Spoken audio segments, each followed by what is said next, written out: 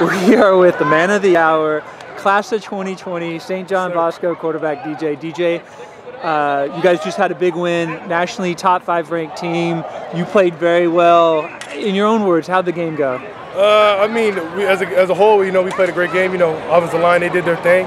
They had, I had time in the pocket. You know, they opened up holes for running backs and me, and then receivers. You know, I just get to them, I just get the ball to them open space, and just do their best. You had do two, what they do. Yeah, you had two fantastic runs. One, the momentum kind of seemed like it was slipping away. They were getting back in the game.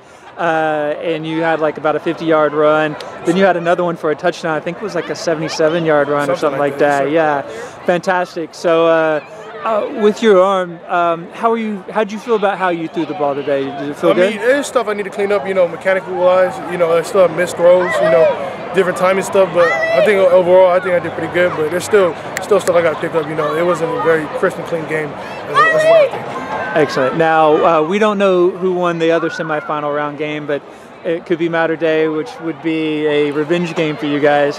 What has you excited about the p- potential of facing them? You know, we were just trying to get back to the CF championship. Whoever we're going to play, I mean, we're going to come up with a game plan, good game plan. You know, we're just ready to play.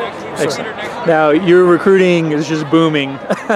How many offers do you have now? uh, I'm not sure. I think maybe around 15, All right. 14, 15. Yes, That's, sir. that's a lot. Which schools are showing interest that haven't offered? Uh, Oregon. I think all, all, of, all of the schools are, but I mean, probably top. Uh, Oregon, Oregon showing a lot of love. SC, Utah.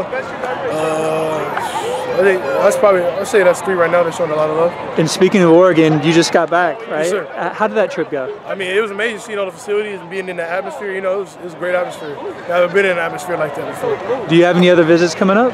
Uh, I don't think so. Just focus on the playoffs for now. sir. Excellent. DJ, appreciate your time today. Thank you Thank you. Good luck next week. Yes, sir.